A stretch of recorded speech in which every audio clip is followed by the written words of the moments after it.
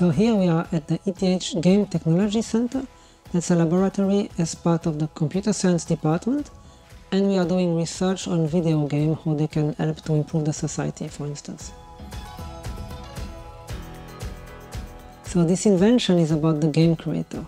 The game creator is an app that let everyone to learn how to make their own video game. And its key element is that it allows people to not only reuse existing bricks, but create their own. For example, it let them draw their own character or their own environment, take a picture of it, and then reuse them to build a game world. In this game world, these elements can be programmed visually. To use the game creator, you need a tablet with the game creator installed, pen and paper.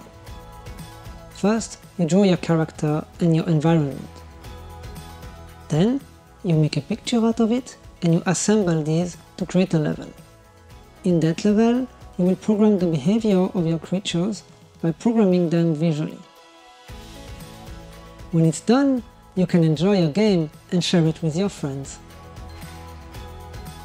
So children starting at the age of 8 will find the game creator engaging. For them, it can be a first exploration of programming as well as a way to develop their creativity. But also, professional game developers might use the game creator for their prototypes.